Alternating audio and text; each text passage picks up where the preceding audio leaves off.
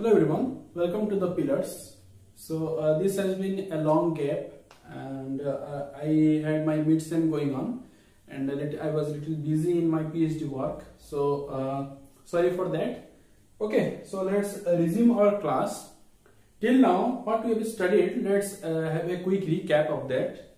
First, I told you how to find out the particular integral and complementary function.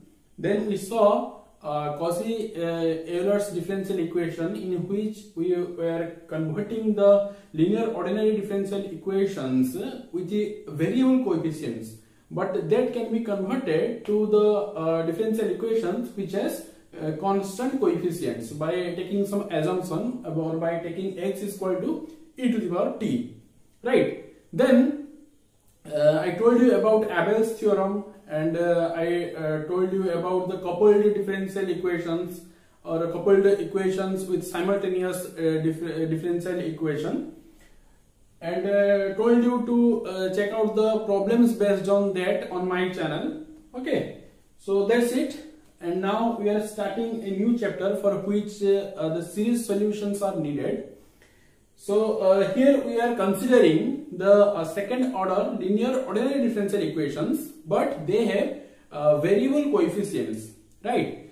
Uh, in Cauchy-Euler differential equation also we uh, took this kind of equation but remember in that case the power of the coefficient and the order of the differentiation there is the multiplication of these two the power and the order should be equal like we are taking x6 square into d2y by dx square.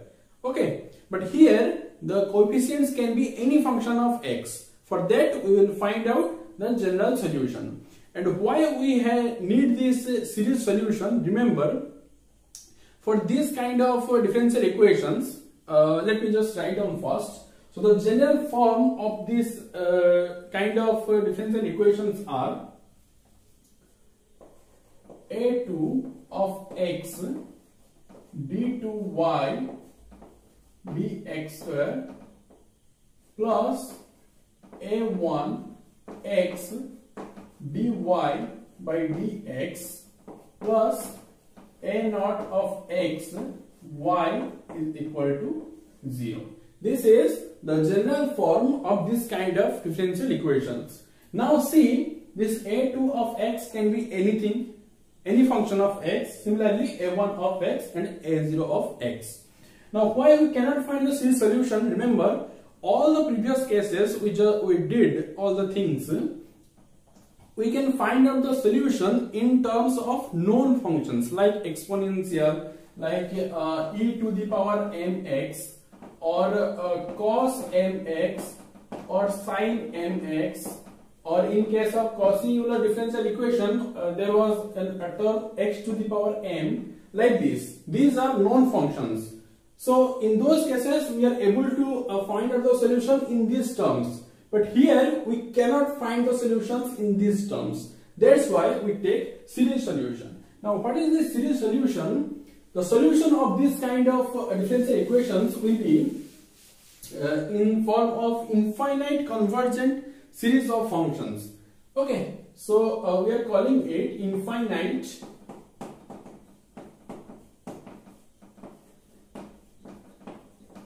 convergent series. Why infinite? Infinite means the number of terms in this solution will be infinite. And what is this convergent? This means sum of the series, sum of this infinite series will be finite value. Then we call it convergent. Right. So this is the thing. Now, uh, in, in today's lecture specifically, we will be talking about the ordinary points and singular points for this kind of differential equations. Okay. Then after that we will be able to uh, know in which cases we will uh, use this uh, power series solution and in which cases we will we, we are going to use this Frobenius method. Okay. So let's uh, see some examples and uh, so first uh, formulate this in general case then we will see some examples. So the first point is if uh, a2 of a is not equal to 0 that is we will put x is equal to a. After that if this doesn't become 0 then x is equal to a is an ordinary point. Is an ordinary point right and uh, for these ordinary points uh, the uh, general form of the solution will be y is equal to summation over k ck x minus a whole power k. This will be the general form of the solution for ordinary point. So this is an infinite series. Remember k from 0 to uh, n uh, or infinite. Uh, for that uh, we will get different terms. Right.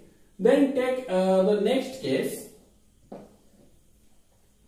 Now if a2 of a becomes 0 then x is equal to a is a singular point.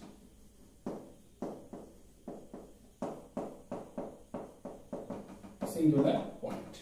Now, this singular point is of two types. This singular point is of two types. One is regular singular point, singular point, and second one is irregular singular point. Right. So for which case we will uh, call these points as regular and for which case we will call this as irregular. Let's see that. So in second point I am taking subsection A, uh, sorry not A, I. If remember this is the first case, this, this is the first case, this is the second case. So I will be talking about two sections here. In both cases this must be satisfied. After that, if x minus a multiplied with a1 of x divided by a2 of x at x is equal to a and uh, let, let's just remove this one.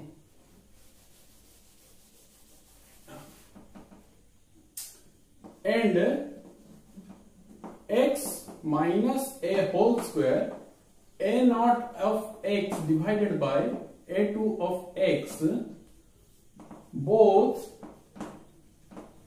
are defined. Both are defined at x is equal to a.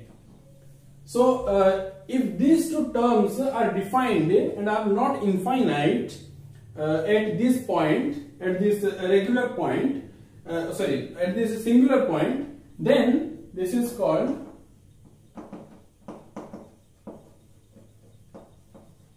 regular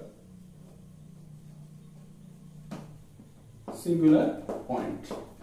Okay, and the second case, second case is if both the terms, uh, sorry, I'm just forgetting one thing so in, uh, in case of this uh, regular singular point, the solutions is written as x minus a whole power m summation over k ck x minus a whole power k. So here the solution, here we are taking k can be anything but here for some specific values of m the uh, the solution will be series solution. We will see what is this m, how we can find this. We will see in later lectures. Don't worry about that. Just remember, in case of regular singular point, you have to take this form of series solution. So you can write down y is equal to summation over k uh, ck ck x minus a whole power k plus m. This is the general form right And the second case, uh, let me just write it down here. So when uh, a2 at x is equal to a is 0, but both the terms are not defined. Remember, x minus a into a1 divided by a2, I am just omitting bracket x, and x minus a whole square a naught divided by a2 are not defined are not defined then x is equal to a is an irregular singular point. And remember for this irregular singular point the series solution uh, doesn't exist. So for this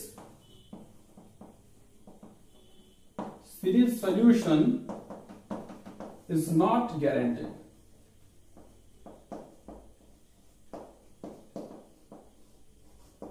guaranteed. I think this spelling is right. I'm not sure. Just ignore that. So for irregular singular point, the series solution is not guaranteed. So let me just uh, review all these things. So here we ha have this general form of a second order linear ordinary differential equation with variable coefficients.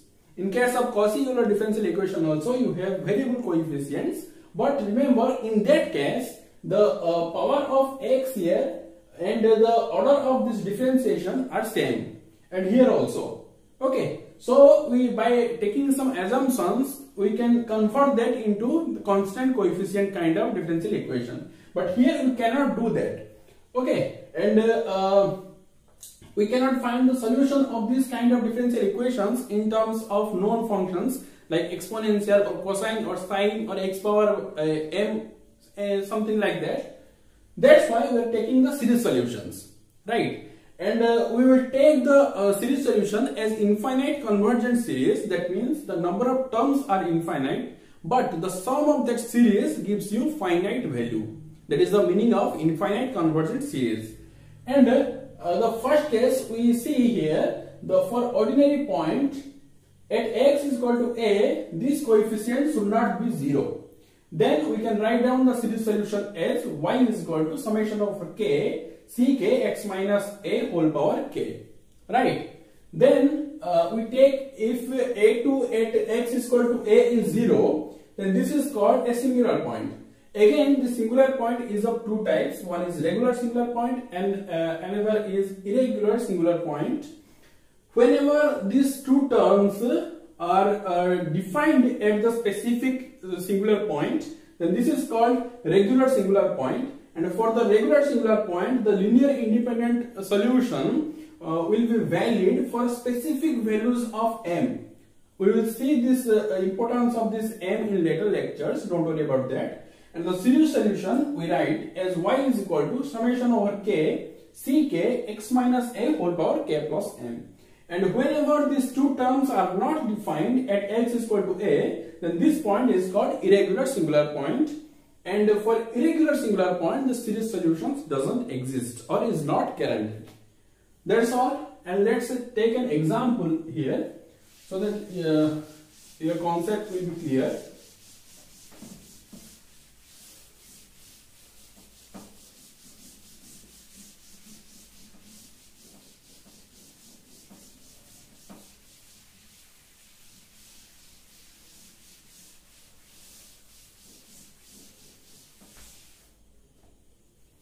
Okay, so the example is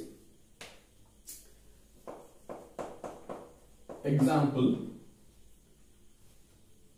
So the example is written as x cube into x square minus 1 d2y by dx square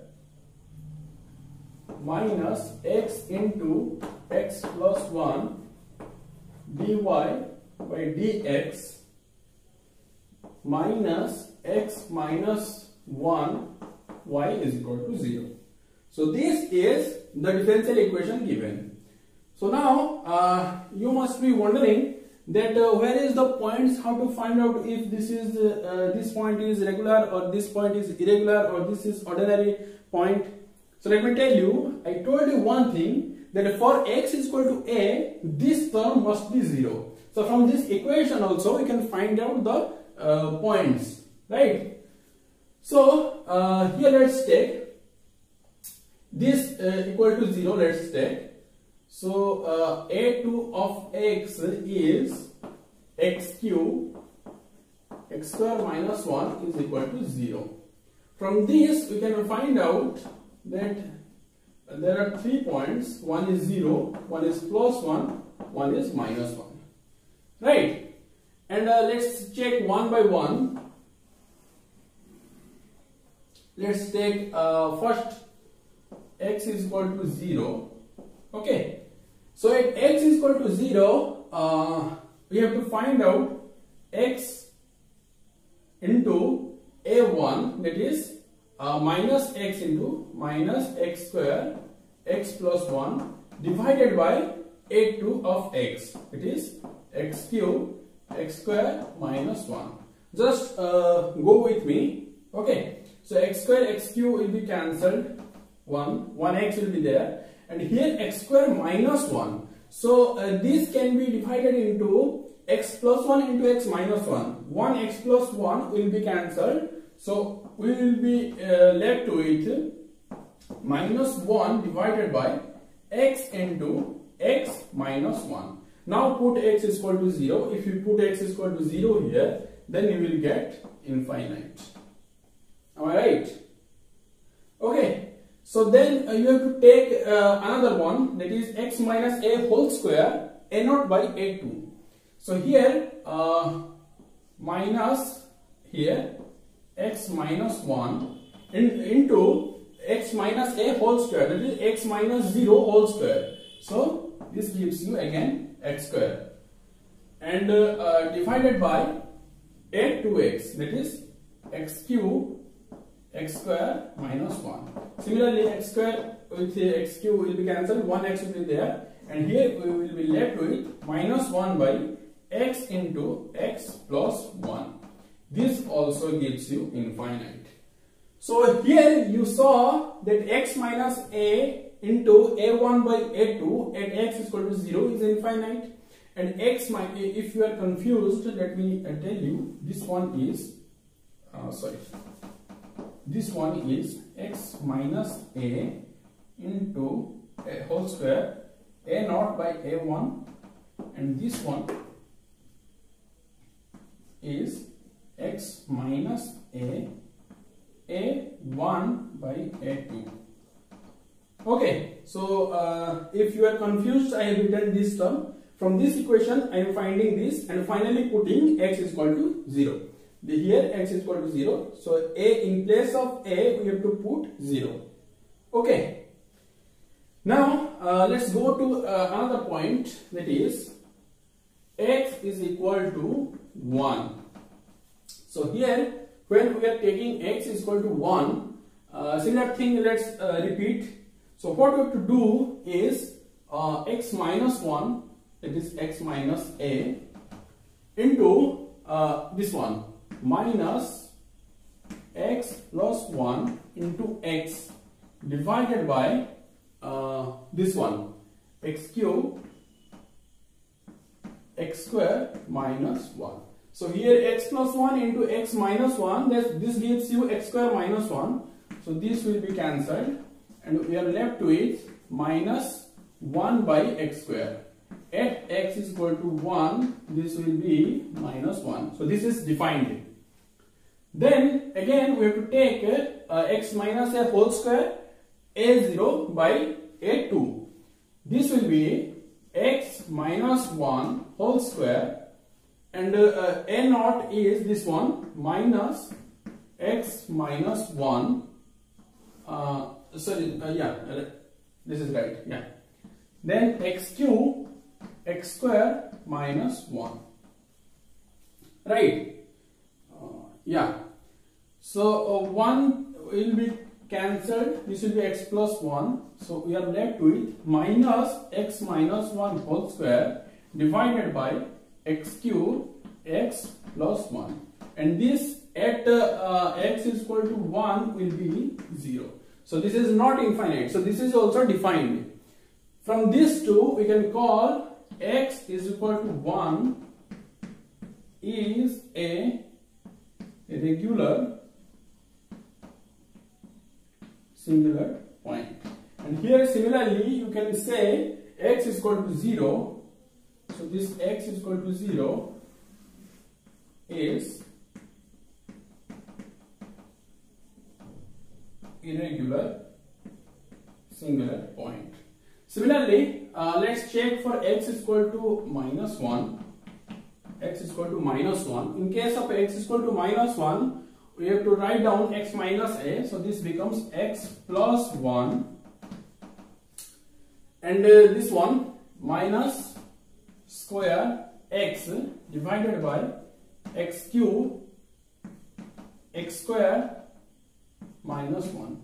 So x plus 1, 1 x plus 1 will be cancelled. So we will be left with minus x plus 1 divided by x square x uh, minus 1. And if we put minus 1, this will be 0. So this is defined, right? And again, x minus 1 whole square a naught by a2. This will give you x plus 1 whole square into minus here x minus 1 divided by uh, x cube x square minus 1. So 1 x plus 1 and here x minus 1 will be cancelled. We will be left with minus x plus 1 divided by x cube. So uh, finally we will get if we put x is equal to minus 1 this will be 0. So this is also defined. We can write down x minus 1 is a regular singular point. So here we found uh, first we uh, found the uh, singular points by equating this uh, coefficient into a is equal to 0 and after that we used that uh, condition in which cases x minus a a1 by a2 and x minus a whole square a0 by a2 are defined and for which case this is not defined. So we saw for x is equal to 0 this is not defined and for x is equal to plus or minus 1 these are defined. So we can say x is equal to plus or minus 1 are singular uh, are regular singular points and for x is equal to 0 is irregular singular point. So for this one we cannot find the series solution. And for these two cases we will be able to find the series solutions okay. So uh, just take this example. And if you find some uh, this kind of equations just take it and find out the singular or ordinary points. Right uh, try this example also again so that your mathematics will be right because if we uh, mix one plus or minus sign here then the whole mathematics uh, will be uh, wrong Okay, so just practice practice this example, and in the next lecture we will see the how for which cases we are finding this uh, power series solution, and uh, in, for which cases we will be applying the Frobenius method. Okay, so for this class that's it, and see you in the next lecture. Bye bye.